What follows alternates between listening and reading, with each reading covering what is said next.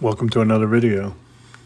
Hit the subscribe button if you haven't already, and if you like the video, please hit the like button. Have fun with this game. Not everybody's going to be an 800 hitter. Not everybody's going to be a 700 hitter. You know, you want to you want to do the best you can, but the biggest thing is to have fun with your friends.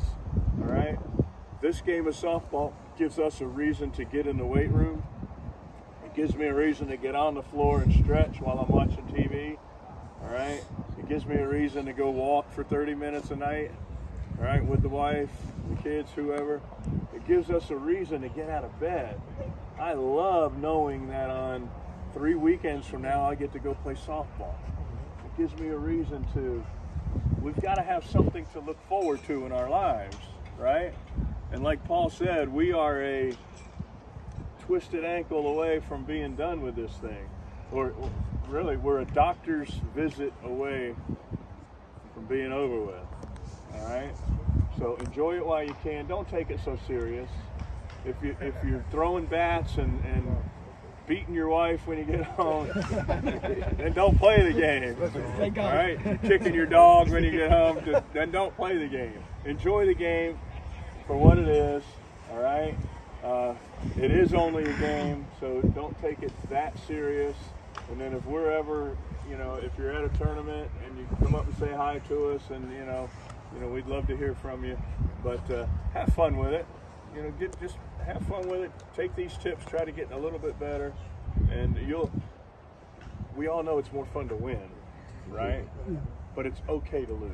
It's okay to lose, especially a senior softball game. It's okay. So my closing comment, guys, is I again I appreciate everyone being out here. I love being able to come out to impart knowledge to help. Um, hopefully, you see my passion for for giving back. Um, hopefully, I, am doing that, and if not, let me know, and I'll work harder. Um, it's it's about giving back. It's about sharing knowledge, because one of the things that Bob talked about yesterday, and I seem like I keep getting this wrong. You either you're either, you're either getting better, you're either or, getting you better or you're getting worse, but you can't just stand still. In my profession, I can I can't tell you the amount of time at, at our age, guys retire uh, as cops, and then someone will call me back and they'll be like, "Hey, chief, did you know Lieutenant such and such, Sergeant such and such died just because they stopped working?" Us being here, us moving, us doing something, it keeps us alive. It keeps us alive, believe it or not, and and that's that's huge. It makes me feel great when I talk to someone and they're like, yeah, I'm 70 something years old. And I'm like, that means I'm, I'm going to be doing this for a little bit longer.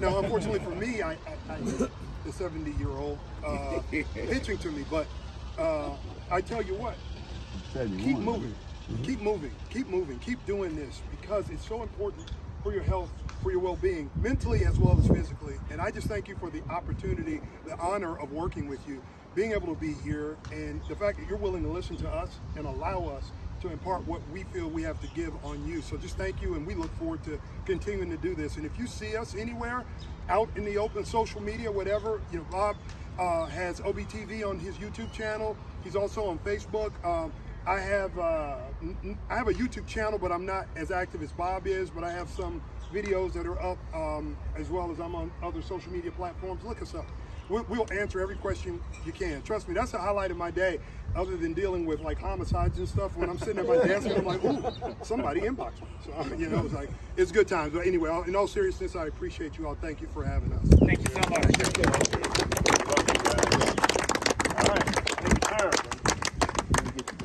All right, let's wrap it up. Come out and play. If you're 50 and over, look for a senior softball organization near you.